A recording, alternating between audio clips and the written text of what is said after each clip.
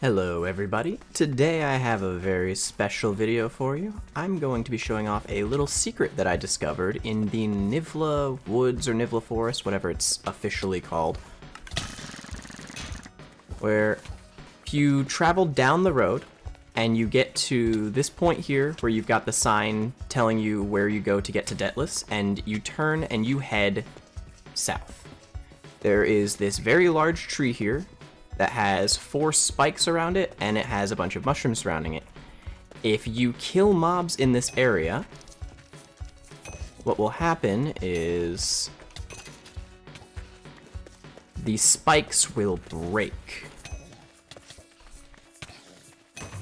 There we go. There's one. And you do this until all four of them go away. And it will open a secret area underneath the tree that has a tier 3 and two tier 2 chests.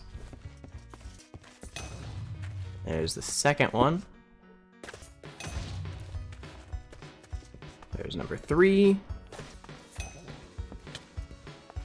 And there's number 4. So then once all four of them have gone down, there will be explosions inside the tree. And there we go. And you drop down, you have a nice little secret alcove underneath the tree with three chests. Inside these chests is going to be loot around the level of the four, so it's going to be lower level loot.